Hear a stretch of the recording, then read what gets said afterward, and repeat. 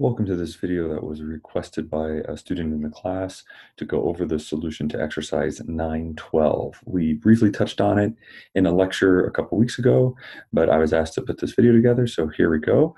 Um, this is a, kind of a very interesting problem. Of course, it's important because it's starred. You know, those are the really good problems.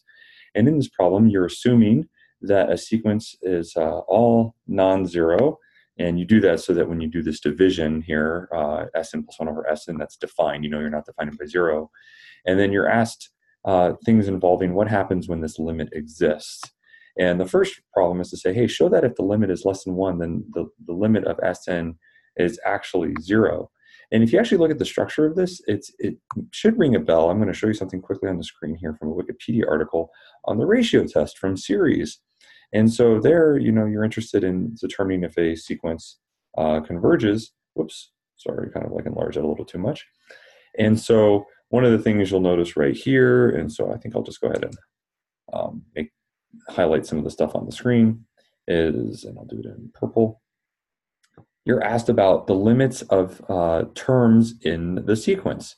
And you're told, hey, if the limit of this comparison of you know just one term of the sequence to another. So again the the the series that you're involving that you're dealing with. Here we go.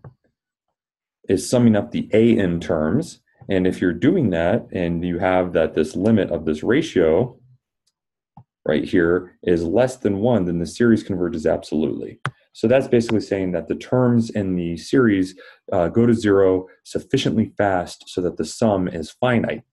And in this problem, you're not really saying anything about them going to zero sufficiently fast, although you, you end up doing that to show that the limit's zero. So what we have here is, okay, we want the limit of these terms to be zero.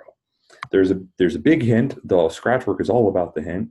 The whole idea is to say, well, if L is less than one, then you should be able to find an A, some number A, that's between L and 1. Otherwise, L is not strictly less than 1. And then if that happens, you should be able to make, you know, uh, S sub n plus 1 an absolute value be less than A times the absolute value of Sn, you know, after, after some point in the sequence. This is what it's saying. And then what you're supposed to show is then effectively this means that the terms Sn have to decrease from the S sub n term um, right here at a sufficiently fast rate, effectively, that they go to uh, zero because this is like a geometric rate of decrease, or an exponential, excuse me, rate of decrease. So, all right, let's look at this problem. It's all about the scratch work. Um, L is less than one, so you can choose some number between one and L. So you do that. And then you say, well, look, um, I, I can make eventually, you know, first any epsilon greater than zero that I might pick, I I can take Sn plus one over Sn minus L, all in with all those absolute values less than epsilon. And if I could do that eventually, then that just means that the terms Sn plus one over Sn um, are less than L plus epsilon. And then just by multiplying the denominator over, you see that that means that the n plus one term is less than L plus epsilon uh, times the absolute value of Sn. So this and this tells you what maybe you should choose your epsilon, what you should let epsilon be.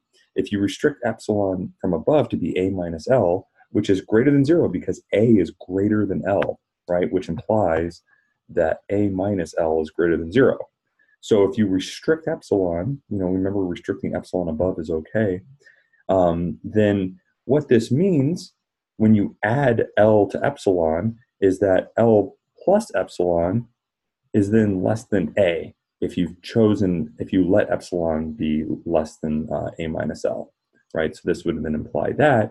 And so then this inequality actually gets you, clean this up a little bit with such a choice.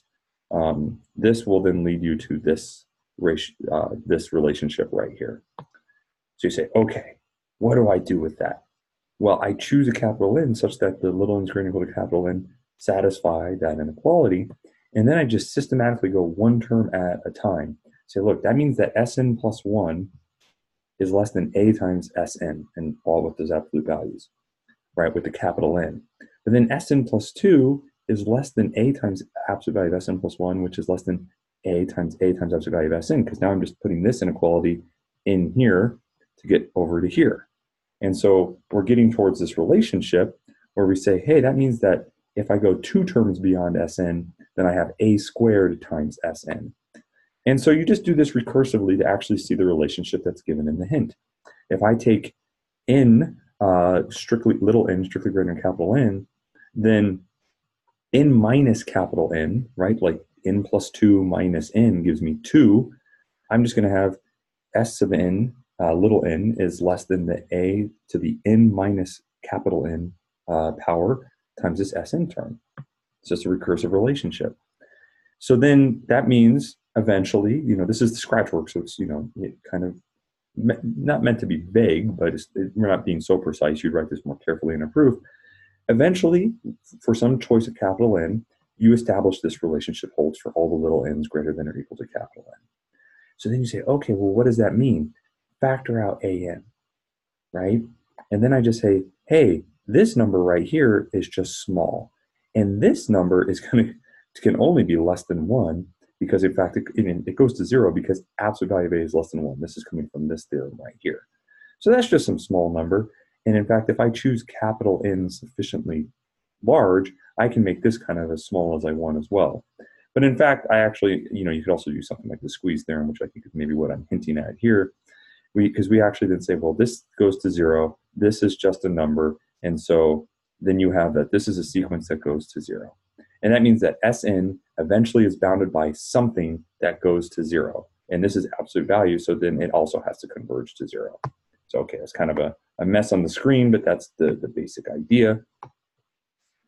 And uh, yeah, that, that's it. Like then you have to put that into a proof, but kind of once you see this in the scratch work, in some sense, conceptually the game's over. Then you just have to write a clean proof. And I encourage you to try to do that. Put all this together in a nice proof. And if you want me to look at it and, and give you feedback on how the proof is presented, more than happy to do that. So that's it. I wasn't asked to comment on part B, but just the part A of this problem. So I'll, I'll stop the video there. Thanks for listening. I hope you found it useful.